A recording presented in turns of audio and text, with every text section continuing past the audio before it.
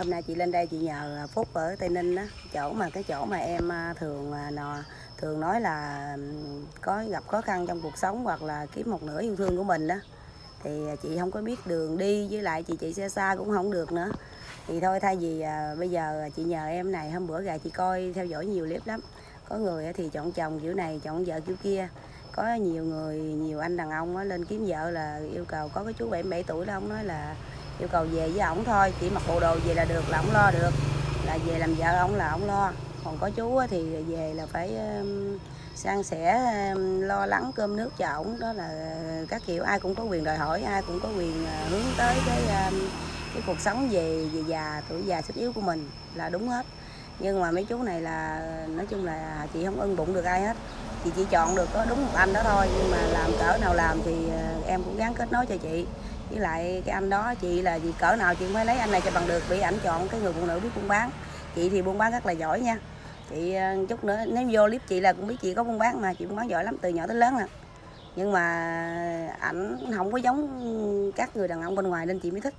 Là tại vì ổng có đầy đủ những yếu tố là con vợ là phải là có nhà à, có thêm 50 triệu cái anh đó đó cái anh là 50 triệu á. Ờ, là biết buôn bán nữa là về sống chung là về anh sống thử à, sống nói chung là về 2 năm thôi.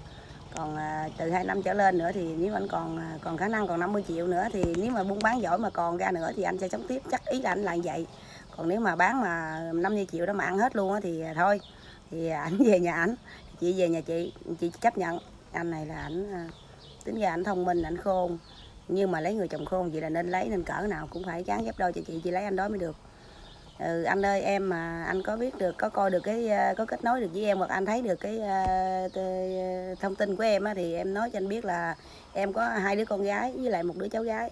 Hiện tại thì em đi dị chồng được uh, sáu năm rồi sáu năm.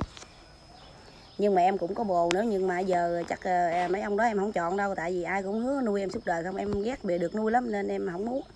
Em em thích như anh vậy đó là em thích. Thì anh cố gắng để kết nối với em nha thì à, 50 triệu thì à, để em đi dây ngân hàng. Bởi vì em buôn bán một mình em đàn bà mà. Em nuôi hai đứa con, thêm đứa cháu nữa với cuộc sống bươn chải ở à, thành thị nữa. Nên hiện tại là em chưa có 50 như em hứa là anh lấy em sẽ đi dây em sẽ dây 50 còn nhà thì hiện tại thì em đang ở nhà trọ, đúng không? Bây giờ anh nói là không có nhà có 50 triệu cũng được, nhà trọ cũng được thì thôi. 50 triệu em gắng tạo điều kiện sẽ có. Anh lấy em em thề em sẽ có 50 triệu cho anh nha. Tại vì đàn ông không ai như anh hết. Anh là ờ, đệ nhất bên tàu rồi nên cỡ nào cũng phải ghép đôi cho chị với cái anh 50 triệu đó. Em thề là em không có 50 triệu giờ em cũng phải về em đi vay được 50 triệu đang em lấy anh. Bởi vì anh rất là đỉnh đàn ông không ai làm được như anh đâu nói thiệt em rất là nể anh. Trời ơi, hỏi trong khi đó hỏi anh ông kia thằng Phúc hỏi chứ gì giờ anh được nhiêu rồi đàn anh anh, anh gáp vô anh làm người ta hiện tại ờ, sự thật ờ, là tôi không có.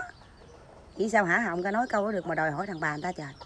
Đàn bà người ta mà người ta còn nuôi con người ta còn nuôi cháu người ta còn nuôi bản thân người ta mà người ta không kiếm chỗ người ta dựa thôi mà ông đầu người ta kiểu đó. Tôi mà không lấy được ông tôi tức lắm luôn á. Tôi lấy ông về rồi đời tôi lo ông chọn do nhớ kết nối giùm chị nha. Ai chia sẻ giùm mình cho ổng nghe được tin của mình.